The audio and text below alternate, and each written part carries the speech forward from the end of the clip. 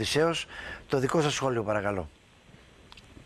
Είναι γεγονός ότι η γιορτή της Δημοκρατίας, όπως οφείλει να είναι η κάθε εκλογική διαδικασία, βρίσκει αυτή τη φορά ε, τον, το, τον κόσμο της Κύπρου σε μια άλλη πραγματικότητα.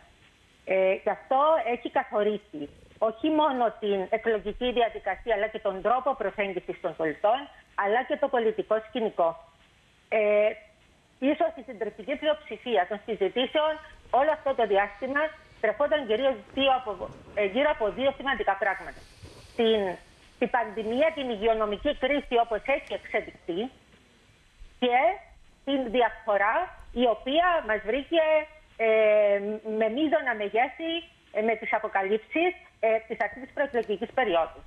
Και είναι γεγονός ότι αφέθηκαν άλλα και πολλά άλλα ζητήματα που αφορούν τον Κύπριο πολίτη, όπως είναι η δινή του καθημερινότητα, η οποία αναδείχθηκε πολύ περισσότερο με την υγειονομική κρίση, οι κοινωνικές ανισότητες, η, η λάθος δομή ε, του κράτους, του, του, του, κοινωνικού κράτους στην πατρίδα μας.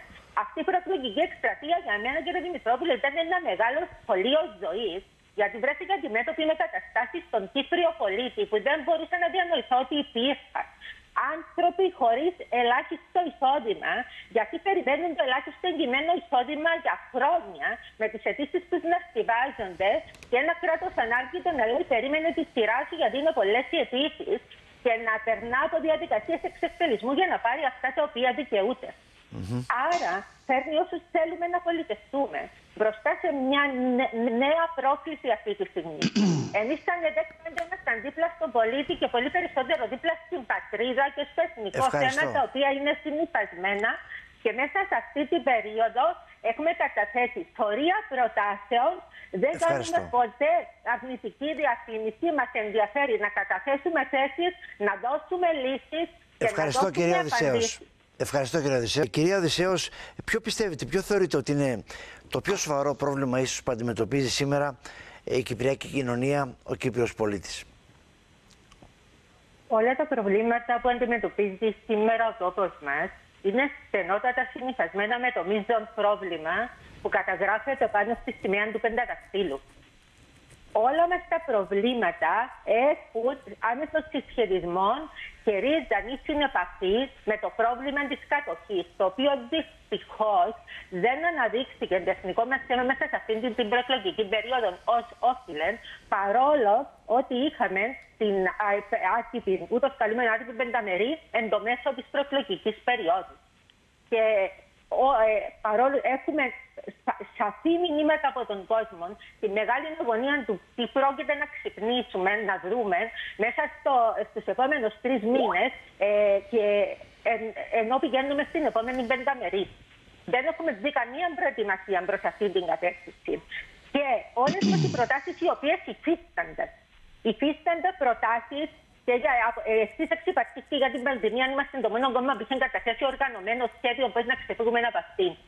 Είμαστε κόμμα το οποίος έχει μείνει σαφώς μακριά από τη διαφθορά και έχουμε καταθέσει θέσεις και προτάσεις ήδη από το 2012, όταν γινόταν ε, τα, ε, διαγραφή δανείων στα δύο μεγάλα κόμματα έχουμε θέσει και έχουμε ε, δώσει στο σύνδιο στην Κυπριακή Δημοκρατία με την υπερψήφιση των προπολογισμών σε μια κρίσιμη ώρα μέσα στο κέντρο της υγειονομικής κρίσης, όταν παρά το πολιτικό κόστος βοηθήσαμε το κράτος να συνεχίσει να υπάρχει και να λειτουργεί για να μπορούμε σήμερα ακόμα να έχουμε εκλογές και να έχουμε προοπτική και μέλλον. Η πράσινη ανάπτυξη δεν είναι μόνο λόγια. Όταν στείνονταν οι πύργοι στη Λεμεσόν, και υπήρχαν παράδειγμα από τους ψυχολόγους επίτροποι εκεί, δεν ακούσαμε φωνή διαμαρτυρία. Όταν η ΕΔΕΣ κατάθεσε για την πράσινη ανάπτυξη και τι πηγές ενέργειας φωτοβολταϊκά, δεν είδαμε θετική ψήφο τότε από τους ψυχολόγους. Οι προτάσεις μας είναι σαφώς δίπλα στον πολίτη, δίπλα στους ανθρώπους που η εξουσία περιφρονεί και δεν δίνει λόγο φωνής. Και είναι πάρα πολύ σημαντικό να υπάρχει ενισχυμένη ΕΔΕΣ στη νέα Βουλή. Ευχαριστώ κυρία για, Και για έναν ακόμα λόγο. Έκανε εξαγγελία η κυβέρνηση έναν μια πρόταση προς την Ευρωπαϊκή Επιτροπή για το Ευχαριστώ. νέο πρόγραμμα της επόμενης πενταετίας με 4 δις. Κυρία, Πρέπει σας να ευχαριστώ. είμαστε εκεί για να μόνο ελέγχουμε. η Σας ευχαριστώ. Ε, Να ελέγχουμε. σας ευχαριστώ. Ευχαριστώ. Κυρία Οδυσσέως, το δικό σας μήνυμα. Ε, ναι, δεν μπορώ να μην απαντήσω. Νομίζω Επίτροποι Περιβάλλοντος ήταν, ήταν μόνο από τους οικολόγους και αυτόν ήταν η απόλυτη στην κυβέρνηση και αυτό φάνηκε εκεί. 25 χρόνια εκεί δεν μπορεί να μας φέρει ως νέο κόμμα. Είναι κόμμα το οποίο έχει συγκυβερνήσει και ε, λοιπόν και το αφήνω εκεί. Και το τι έκαναν όταν ήταν επίτροποι είναι εκεί και φαίνεται. Δέχτηκαν και τους Κύπρους και κατά τους πύργους στη Λεμεσό και καταψήφισαν και τα, και τα φω- φωτοβολταϊκά. Και ε, κα- Τα α- είπατε αυτή τη αυτά, στιγμή ναι, αυτό που θέλω να πω και είναι πάρα πολύ σημαντικό. Η νέα Βουλή θα έχει να αντιμετωπίσει τη νέα διεθνή πραγματικότητα, τη νέα τάξη πραγμάτων. Και είναι πάρα πολύ σημαντικό για τον Κύπριο πολίτη να είναι εκεί και να είναι δυνατή η ΕΔΕΚ, η οποία έχει δείξει διαχρονικά ότι στέκει το ανάχωμα, ότι στέκει το αντρόχυντη, ότι είναι εκεί πάντα δίπλα στον Κυπριακό λαό για να αποσοβήσει κινδύνους από την ίδρυση της από την δεκαετία του 60 και το έχει δείξει διαχρονικά.